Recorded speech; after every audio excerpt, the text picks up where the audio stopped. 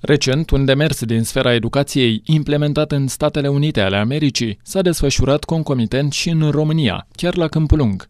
Cadrele didactice de la un centru educațional modern mușcelean, care dezvoltă programe de educație complementară pentru copiii cu vârste între 6 luni și 8 ani, prin metodele creative și experiențiale, au răspuns împreună cu echipa celor mici la provocarea lansată de Fundația Jump Start, Anual este selectată o nouă carte menită să le inspire copiilor dragostea pentru lectură și învățare prin joc, roluri și cultivarea puterii imaginației, prin alegerea unei apariții editoriale citită de un număr record de copii. În acest an, povestea citită din America până în România, prin intermediul Centrului Educațional Internațional, a fost Evelyn Del Rey se mută, de Meg Medina.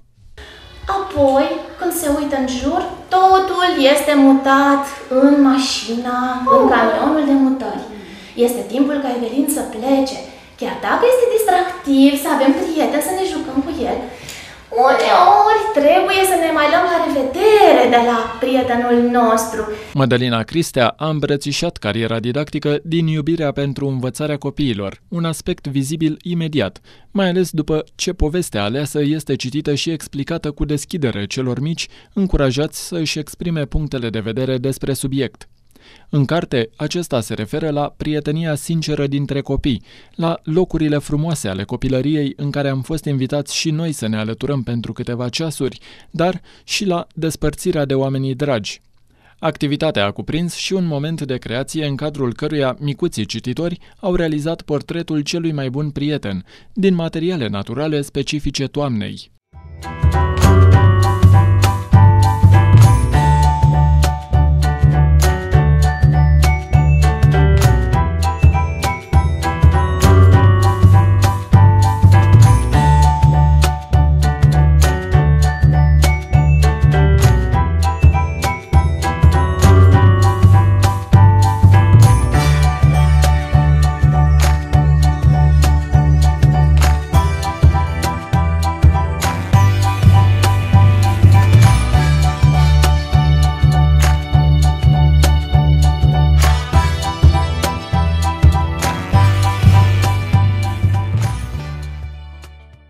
Copiii, îndrumați de cadrele didactice ale centrului educațional, au luat parte la eveniment cu bucurie, intrând în lumea emoțiilor, a conștientizării și acceptării acestora. Cărțile selectate pentru stabilirea unui record al citirii sunt resurse utile pentru profesori, părinți, bunici și copii. Profesorii și educatorii au posibilitatea să construiască activități în jurul poveștilor propuse, prin care cei mici își dezvoltă practic abilități de gândire critică, de ascultare și înțelegere a mesajului din text, a memoriei și le sunt stimulate aptitudinile, fiind încurajate sau chiar descoperite talentele copiilor.